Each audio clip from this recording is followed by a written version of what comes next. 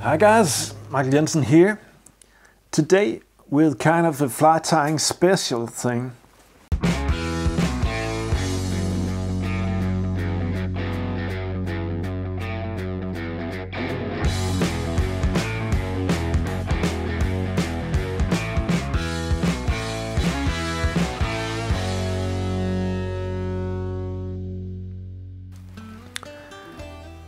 One of the most underrated fly tying materials um, is, in my opinion, part of this.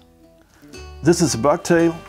I got bucktails in, I don't know, 30 different colors, dyed colors, and, and in the natural form as well. And I tie a lot of bucktail flies. I tie a lot of classic bucktail jigs. So bucktail is just the most important material for, for me in my fly tying, especially when it comes to streamer flies, herring flies, uh, and to hair jigs. But when we look at a bucktail, mostly we look at that side. It's the back side of the, uh, the tail. And the reason why we look there first is because it's usually these uh, white feathers, white, it's usually these white hairs we're interested in. Uh, because when we dye the bucktail, we get all kinds of nuances, wonderful colors, bright and, uh, and glowing colors in, in every imaginable nuance. But what we tend to forget is on the other side of this, on this side, the top side, is lots of other hair that don't really is part of of many uh, original fly patterns. You're not going to find many patterns who dictate you should use the dark hairs on a bucktail, whether it's from the natural which is a, any uh, nuance, any color from, from tan to a dark brown. Um, or on one of these colored examples where you got a lot of fabulous dark olive colors in this kind of medium to light olive uh, bucktail.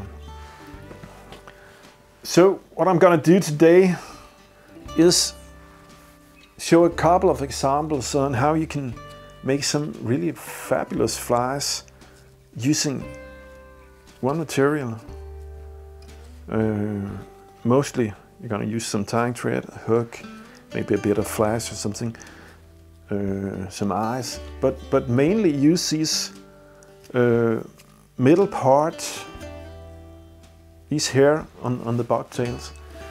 If you want to tie a fly with the dominant color is this uh, wonderful golden amber.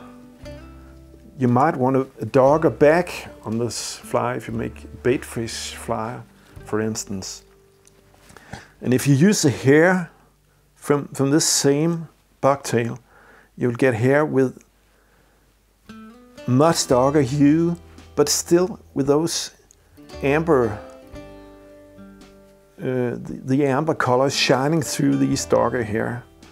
So they're gonna match up super nice. We're gonna take a look at that in a moment. Hang on.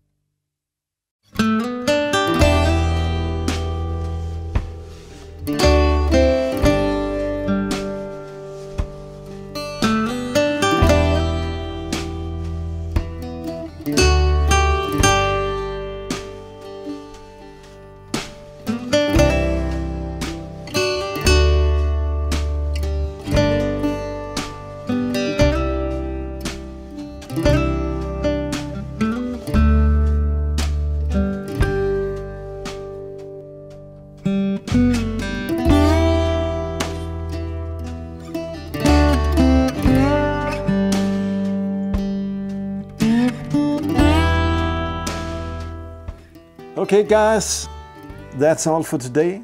Thanks for watching.